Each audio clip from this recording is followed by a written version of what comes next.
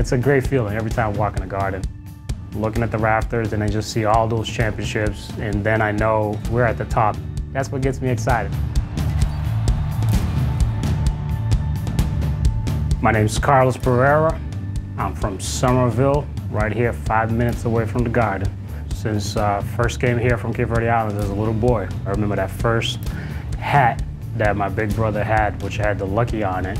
I saw that, I was looking at it, I'm like, oh, that's pretty cool. From that moment on, that was it. So this, this suit here, custom made, I drew it myself. I made a little sketch and I found a tailor that I liked. It all came with uh, basically wanting to support the team. I mean, I've always been a fan since a little kid. I just wanted to feel included, and this is kind of like one of the ways you represent, you know?